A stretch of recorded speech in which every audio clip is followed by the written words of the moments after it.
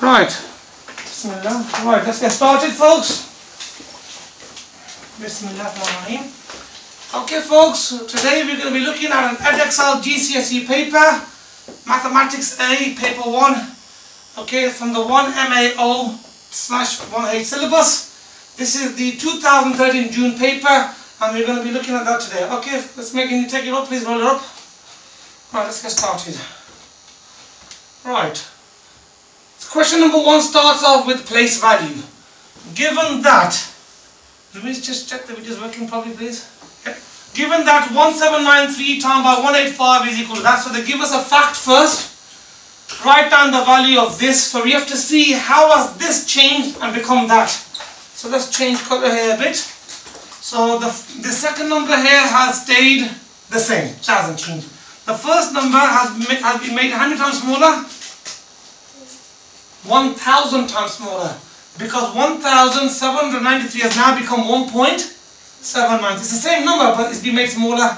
So there is no point to be made to move back three places. Now if you make part of the question a thousand times smaller what do you reckon happens to the, the answer? So at the moment this copy down here for the moment. So if you make this part a thousand times smaller you're going to make the answer. a thousand times smaller. It follows through to the, to the answer. So it gets mirrored so one, two, three. So the answer should be 331.705. And that's that question done. Just like buzzing. It's me. Okay, now, if you look at the next, this question here, question B, uh, 331705 divided by 1.85. This is a variation of our original question there. So let's rearrange that. So let's have a look. So we have here 331705. So what they're going to divide by 1.85. Opposite time by that is? Divide. So if you divide it normally by 185, you should have got an answer of 1793. So what I've done here, I've manipulated the original question and we're going to compare that with the question they've given us. So the first part has stayed the same. same. The second part is looks like the original second part, but it's been manipulated by how much? It's been made 1, 185. To get to 1.85, you've got to make it 100 times smaller, isn't it? So we made the bottom part 100 times smaller. Now, this is where the slightly, your thinking part comes into it. When you are dividing, and you make the number you're dividing by smaller, how does that affect the answer? Does the answer also get smaller like in the previous question or does it get bigger? So, okay folks, go off you go. Don't all shout at once. If you make the if you make the dividing point 100 times smaller, you have to make the answer 100 times bigger. Why is that? It has the opposite effect. So think of it like money. If I have 100 pound and I divide amongst five of you here, you'd each get 20 pound. If I had hundred pound and I didn't divide it by five, I divided by two. Fifty. You get more. You get fifty pounds. So you, as you make the number you divide it by smaller, the answer gets bigger. Okay. So now the answer will become on this. Okay. So the answer will be one seven nine three zero zero. Okay. So this effect here on the bottom part of the dividing uh, seems to have the opposite effect in the answer. Okay, folks. Are you happy with question number one? Place value. Right, sir. Smith, can we move it up, please? If we need to quickly rub that off. Okay, Zisha, have you got that down? I need to rub it off. Done? Okay, right, let's get this off the board and get on to the next question. Okay, right. Where is my... Right, question number two. Question number two involves percentages and fractions. Right, Mr. Mason asked 240 year 11 students what they want to do next year 15% of the students want to go to college and three quarters of the students want to stay at school. Now, everybody in this room should know quickly what three quarters is percentage. Three quarters of percentage is 75 percent. One quarter is 25, so three quarters is 75. So straight away we can write next to here in the brackets 75 percent. So we need to be able to convert between fraction and percentage. So a quarter is a very popular, we should, we should know that value is 25 percent. So three quarters will be triple that, 75%. The rest of the students do not know. Work out the number of students who do not know. Work out the number of students, not the percentage, not the fraction. So, right, let's have uh, Afira. We have here 15%, and we, we worked, we know that 3 quarters worth 75%. So what we need to do these two first, we need to, what do we need to do them? Add 15. Add them to work how much we got so far. So 75% add 15% will give us a total of 90%. 90%. Okay, and in the complete question we have Zishan, how much do you have, how much percent do we have? Always in a normal question we have how much percent? 100%. Okay, so the total data value must be 100%. And 90% has been spoken for, so if you minus them that will give us. So 10% of this 240 are the ones who Don't know. Do not know. Okay, goes work out the number. So I haven't finished yet. I've worked out the percentage. So now I have to work out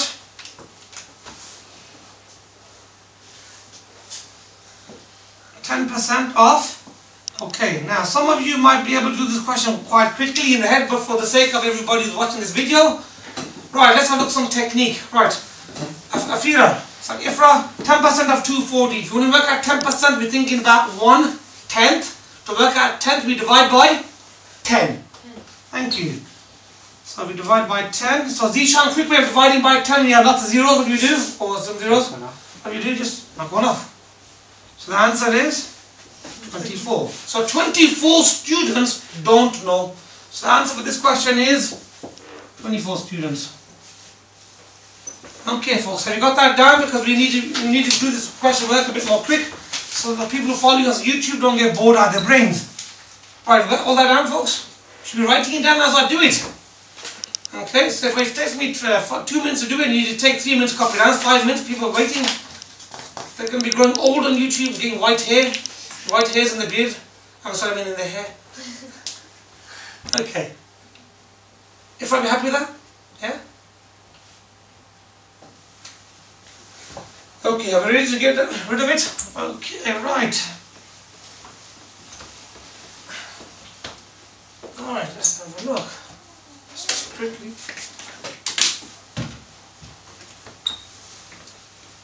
Right, okay. Lovely, right. Goes there 16 babies. Question number three 16 babies are born in a hospital. Here are the weights of the babies in kilograms. Ramiz, are you okay? That's just. Are you still recording? Okay, so here's the 16 babies' weights in kilograms. Show this information in an ordered stem and leaf diagram. Okay, so can you just bring the stem and leaf diagram up a bit, please? Okay, right, stem and leaf diagram is over here. Okay, that's it, right for now. Right, take a bit more space, and bring this up over here. That's leave it there. Thank you. Right, we need to do a key first of all. So 2.4, let's start with the first data value. So that, if we represent that on the, on the, that represents, what does that mean? That means, that means, Two to two point four kg. okay, so 24 means 2.4 kg. So that's our key. So that part of stem and leaf diagram means 2.4 kilograms. Okay, now let's have a look at the standard values. We have 2.4, 2.7, 3.5, 4.4, 4.5, 4.1 and so on. Now, what's the lowest value? The lowest value starts with like a 2 point something, is that right? Yeah. And then from 2s we go to 3 point something. And four. And then 4 point something. Do you have any 5s? Nope. No. So 2 point something, 3 point something and 4 point something. Okay, so we're doing a stem and leaf. Now, ordered stem and leaf is the key word here. What does it mean by ordered stem and leaf? Okay, let's have Ramiz. Ordered stem and leaf. Ordered means the numbers are in order. That's it. Style. So let's look at all the two points point somethings. So we have here 2.4, 2.7, 2.8. Any more twos, Zishan? No. That's it. So you got 4, 7 and 8.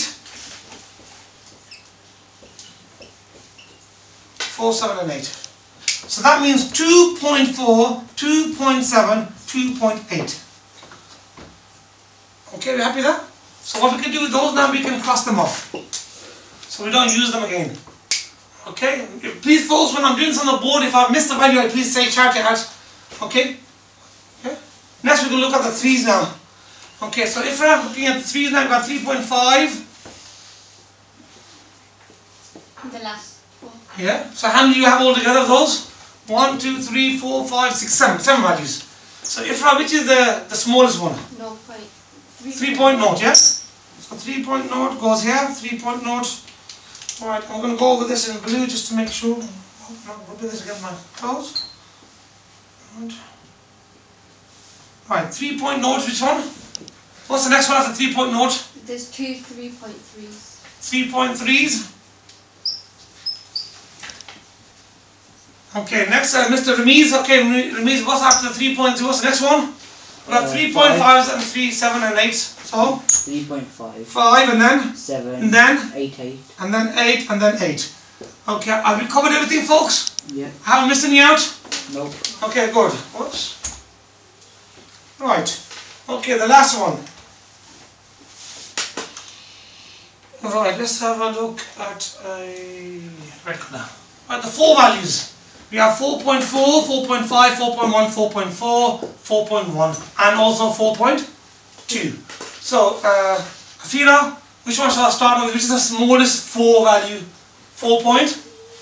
And then how many of those we have? two, two of them. And then we go on to 4.2, two. and that's one of them. Then uh, 4 point, 4.4. how many of them? One, No, 2. Two. two, And then what, how many, and then the last one is 4.5. 4.5. Okay, let's just quickly add these numbers up, see how many we got. 1, 2, 3, 4, 5, 6, 7, 8, 9, 10, 11, 12, 13, 14, 15, 16, and we should have 16. So hopefully that should, that should be enough. Okay, we happy with that, folks? Okay, right. Let's move the next question up. Smail. As you move it up, Smail, make it bigger, please. Because these questions are small in algebra in terms of the size and a bit bigger. Right. Okay, folks, are we happy with these? Now, you'd be surprised how many students get these questions wrong. Ready, Dishan? Yes, sir. So expand. Expand doesn't mean like you start eating doner kebabs in the exam and start getting fatter, yeah? I want to expand the, the, this algebraic expression here. So we need to multiply it. Now that 3 outside the bracket means 3 times. 2. So 3 times by 2, first of all, I'll write it down. 3 times by 2 gives us. 6. And then we do 3 times by T. plus t. Make sure you include its sign. 3 times by plus t will give us Plus 3T. plus 3t. That's lovely. When you say 3 times by plus 3 uh, plus t, you automatically come out with a nice answer of plus 3t. So your answer comes with your question. So if you miss out the plus, what happens the minus is even worse. And what sign you put in the middle? So the sign here is generated from the question itself and not by copying it down. Because if I was to put a minus here, that would become minus and not plus. Okay, we done that? Happy with that question? Okay, Zishan, next question. It goes expand this expression now. So again, we can start with the 3x outside the bracket. We multiply by each item inside. So 3x times by 2x. 6x squared. Excellent. Okay, and then you have 3x times by, uh, let's have some here. 3x times by plus 5 Plus 15x. plus 15x. Lovely. And that's that question finished. Right. So 6x squared plus 15x is the answer to that. Okay, the last one I'm going to try to squeeze in the bottom. Don't move this around. Okay, says the simplify. This one got an extra word expand, which we mean no means multiply, and simplify. So simplify means collecting like terms. So let's have a look. Now, when we start this question, let's do this one in red. We have double brackets, two items there, two items there. So Zishan, where do we start? Uh, At the first item. So m has to time by m. And then has to time by 10. plus 10. Don't do not say 10. Because if it's a minus 10, you should say time by 10, you'll get the wrong answer. You'll miss out the minus in the answer. So let's look at this. m time by m is equal to M squared. m squared. Now we have m time by plus 10. m time by plus 10 will give us Just 3M. plus 10m. Oh, m time by plus 10 will give us plus 10m. Okay. no, yeah. Right, next. Zishan, we've done the first uh, item with everything on the other side. Now we're going to do the second item with everything. Okay? That's not how to do double brackets. So we do plus 3, plus 3 times by m will give us plus 3 times by 10, Plus 3m. plus 3m. We have plus 3 times by plus 10 that will give us Plus 30. plus 30. Lovely. Okay.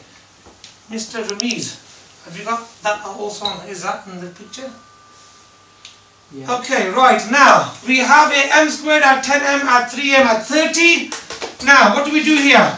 The m squared, there's no more m squared terms to add, so that stays as it is. The plus 30 is a numerical term, there's know the numerical term, so that stays as is. But the terms that we can simplify are these two. So we have plus 10m and plus 3m, that will give us altogether Plus, plus 13. plus 13m. So we have m squared plus 13m plus 30. And that is the final answer to that question. Expand and simplify. Has everybody got that down? Ready to move on to the next question? Next question, folks? Alright. Alright.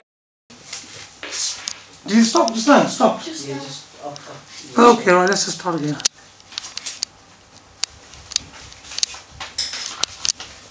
Okay, here we go. Okay, folks, sorry about that. We're just coming back. I think I don't know what happened to the camera then. Right, uh, as we were saying before, 525 is equal to, I'm going to put numbers in order now. 3 times by 5 times by 5 times by 7. Product means times. So 3 times by 5 times by 5 times by 7. I haven't finished yet. So I'm going to simplify that a bit more. I'm going to write it as 3 times by 5 squared times by 7. Okay, so that should be a fine answer for that question. I find this particular method to be one of the nicest and easiest methods. Okay, as I said folks, if your students like doing the one with the little branches going everywhere, by all means carry on. But this is the method that I, my choice. Okay, Samia, has we got that down folks? Yes? Right, let's rub this off quickly, move on to the next question. Make that's it, Samia, make it a bit more smaller, we'll fit on there. So the, uh, Mr. Ramiz, keep an eye on the camera please. Yeah. Make sure it's recording, it's recording. Yeah, you got 17 minutes. That's okay, good. There we go. It says Ed has four cards. Question number six. Ed has four cards. There's a number on each card 12, 6, 15, and a question mark. The mean of the four numbers on Ed's card is 10. The mean. So, Zishan, what is the key word they mention here? Me. Mean. Okay, the word mean doesn't mean like you'd be mean to your friends and stuff, that kind of mean. This is the mathematical mean. Okay, mean is one of the averages, which means add them all up and divide it by How many numbers? how many they are. So we add up all these numbers and we divide it by the number of numbers. I think this is piece of black instead. Ooh, They're all looking a bit, uh, jaded. Samia, can you jump into the bottom drawer quickly? Give me some uh, more. It's, it's dying on me. Pen, me, keys. Okay, wow, this one. Right, so we know when we add up these four numbers and divide it by four, because that's what the mean is, add them up and divide by how many are, that the answer should be 10. Because the mean is 10. So this plus this plus this plus this divided by this is equal to 10. Okay, so we've done that? Now, so let's work out. Right. Thank you. Alright. Let's write it down a bit more. So 12 add 6 will give us 18. 18. Add 15 will give us, just do 15 add 15 add 3. Uh, 30. 33. So 33 add the mysterious divided by 4 is equal to 10. Right, here comes a bit of rearranging. Is it 7? So, uh, opposite, uh, so you got to work out the missing thing, number here. So this missing number, add 33 divided by 4, divided by 4 is the last action. So you move that first. Opposite divided by 4 is, Times 4. so we know 33 add the mysterious number is equal to 40 and as was Rami said earlier is the number 7. Now it's more clear, the number is 7. 7 because 33 at 7 is 40. So we can say quite confidently that this number is 7. Okay, done. We call this question a reverse mean question because it's to do with the mean calculation but you're working backwards They've given us the answer and you got to work out part of the question. Okay, has everybody got that down? Girls? Let's make it down.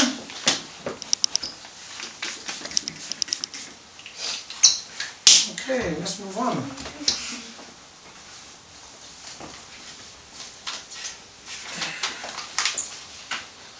Right, take this, that's, that's fine, just take up a bit more, take up a bit more, a little bit, that's, that's lovely. Translate, so this particular question here is one of our transformation questions. Translate shape P, I'll read it out because I don't think it'll come out properly in the video. Uh, translate shape P by the vector 5 minus 2. 5 minus 2 is a translation question which is the easiest question we can have on transformations. The first number indicates how much we're going to move the shape to the x. The second one makes sure that how much we move it to the Y. y. Because the y is minus, we've got to move it down. So what this is saying here is move the shape 5 along the in the positive x direction and then minus 2 means Now, then move it down by minus 2. So you've got to get the whole shape, move it across by 5 and down by 2. So let's start off with one corner. Nishan, are you with me? Yes, sir. Here, watch. One, two, three, four, five.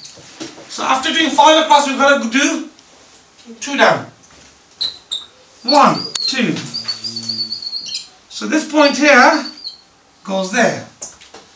Okay, now, we need to do that to the whole shape, to each corner. But since this shape is nice and symmetrical, we can actually cheat it there. Now, that point is two squares behind, isn't it? So we can literally reconstruct the shape here. So two down, and got three down here, three, one across, one up, one across, and then two up. So we can only we can literally just move one part and reconstruct the rest. Then it goes uh, translate shape P by the vector. Has to be anything else on that question?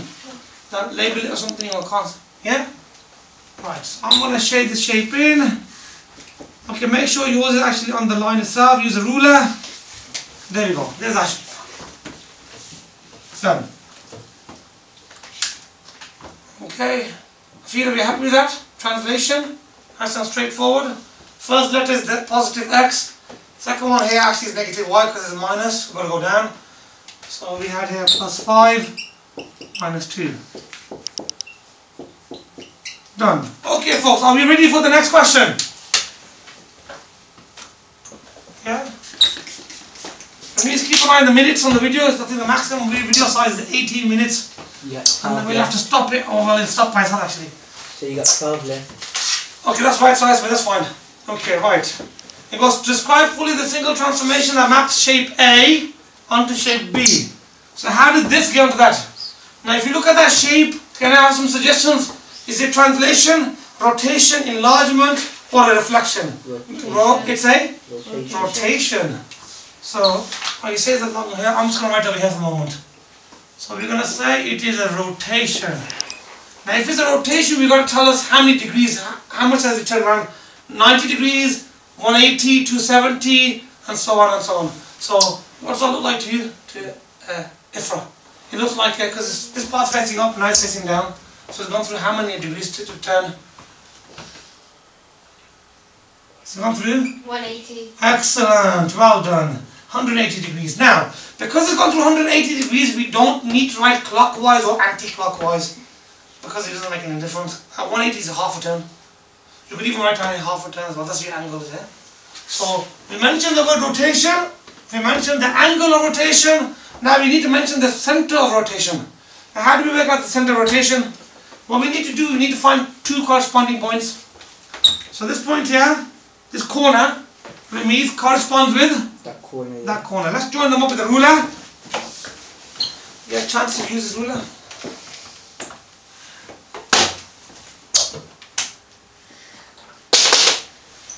Okay, let me get a chance to drop stuff on the floor.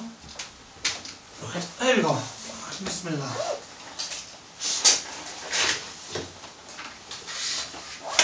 Okay, that's our first line. Okay, let's change color now. Now we need to find another point. We need to join them up. Okay. Okay, Zishan. Zishan, which point should we take? Should we, can we take, for example, this point here? Yes, sir. Where does that correspond to? That corresponds to Straight across. that one, yeah? Yes, sir. Yeah. So let's join them up now.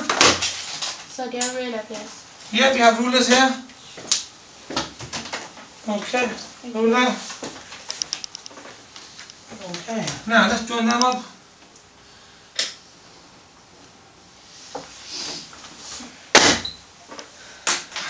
Okay, now where do the where do those two points intersect? Can anybody tell me? Can they read off on the graph on the on the own graph? Where does it intersect? Y equals One. 1. Intersects at zero, one. That's, that's what I was looking at, sir. Okay, so we say rotation, 180 degrees rotation, and it is about.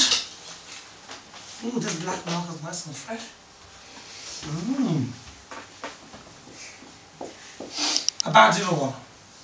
So that about sign is the center. Or we can even say center of rotation.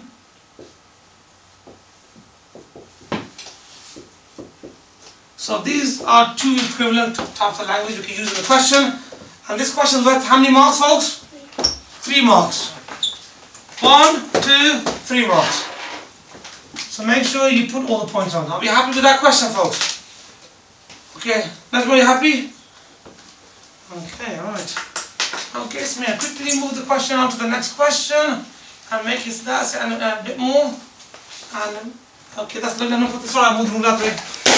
Okay, now that, that will do, okay. Just make me move up to the corner, slide across a bit, quickly, slide across the bar.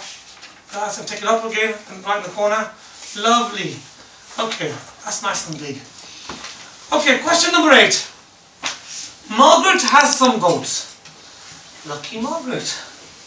The goats produce an average total of 21.7 litres of milk per day for 280 days. The rest of the days the goats have as a day off.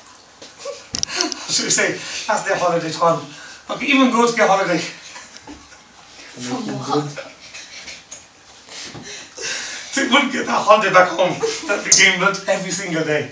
Okay. Margaret sells the milk in half a litre bottles.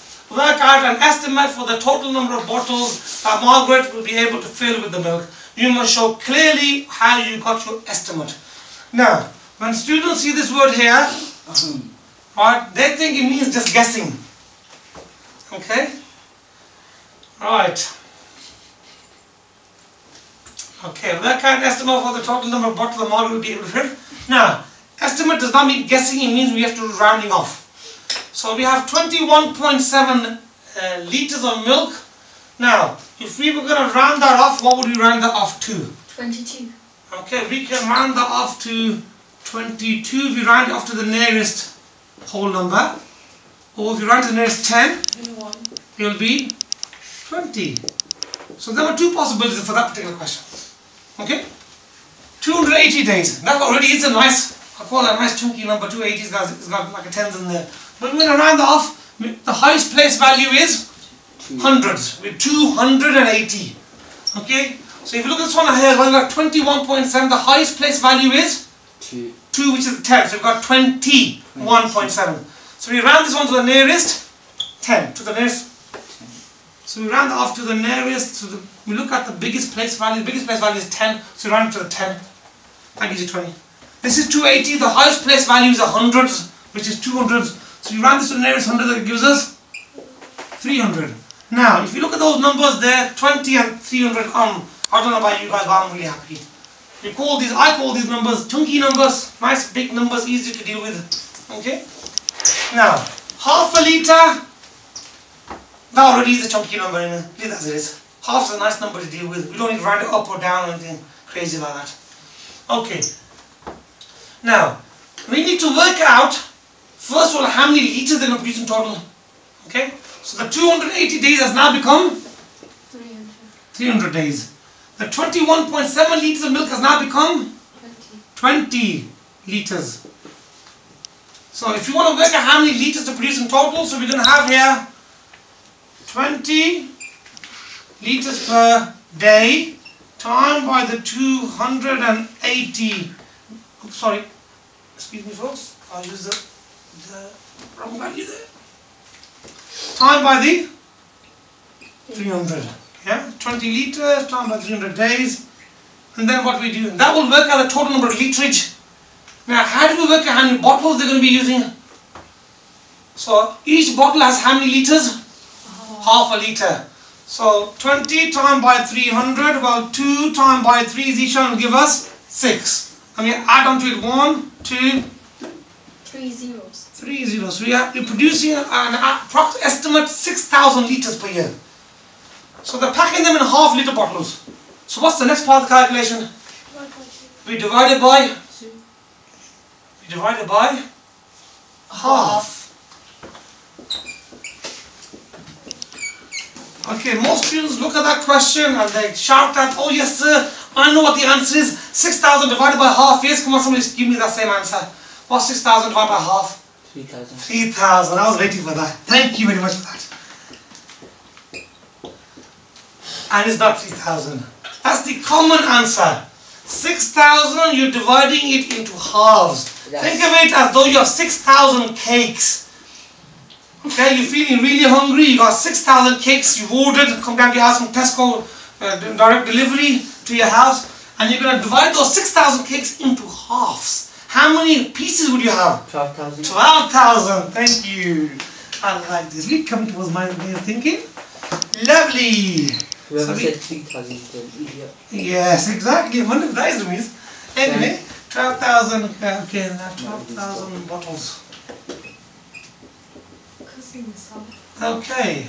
The question says, uh, work out the estimate for the total number of bottles. So that's the SMS. Okay, you happy with that?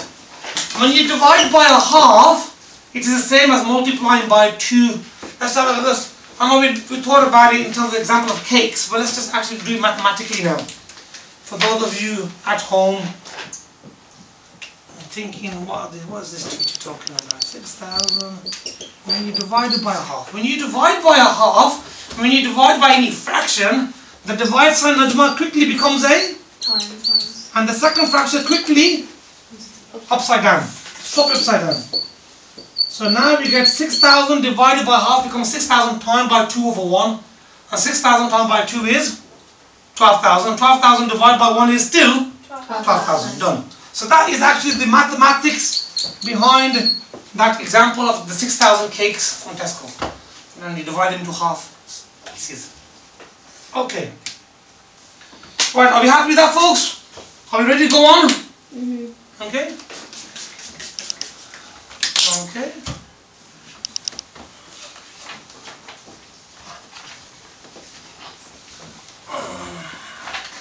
Is, is uh, happy to be the camera. Two minutes. Two minutes left.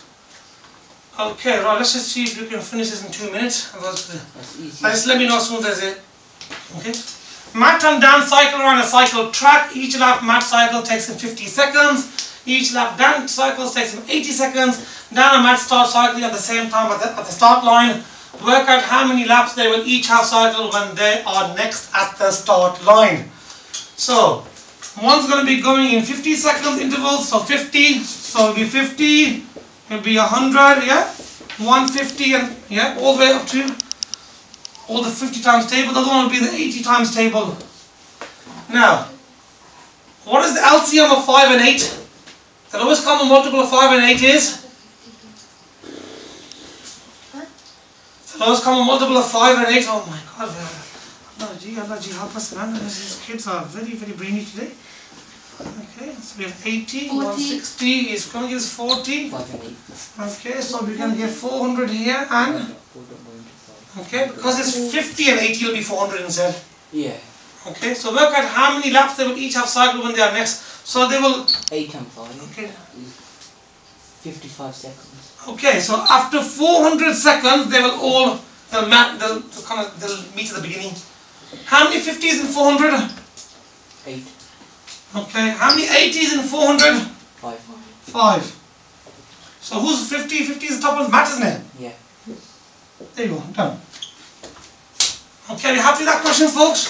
Mhm. Okay, so here we're looking at the times tables of 50 and 80, looking for the LCM, but the key is looking at 5 and 8, and that gives us 40. So in this case it'll be 400 because we've got extra zero on there. So after 400 seconds, they will kind of both match up, because that's going to be 80s and then at 400 seconds. But this one will take him 8 laps. This one will take him 5 laps. 'cause 80 times by 5 is 400, and 50 times by 8 is 400. And that brings the end of this video.